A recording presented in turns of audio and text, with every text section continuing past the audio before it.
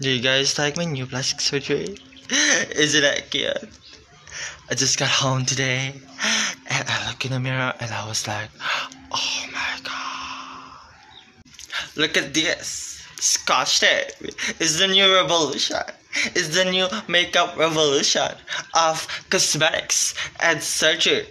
It's the new beauty for people who aren't happy with their abnormally large noses. It helps us put together our faces.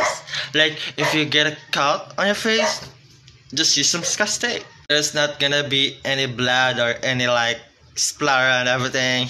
It's just gonna be like oh, your face. And I totally used that scotch tape on my face. But no, actually, this is what happened.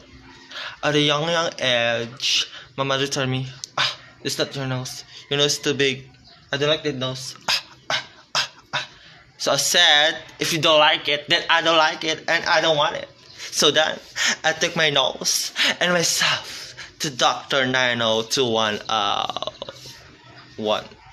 Oh, and then I had to cut it out like, and then I had to apply some scotch tape to make me look absolutely beautiful. so now I'm beautiful. Like, look how aligned my nose is right now.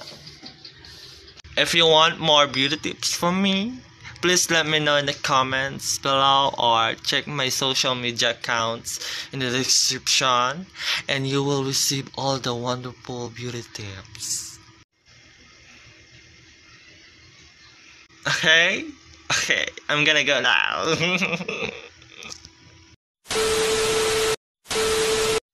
Subscribe, bitch.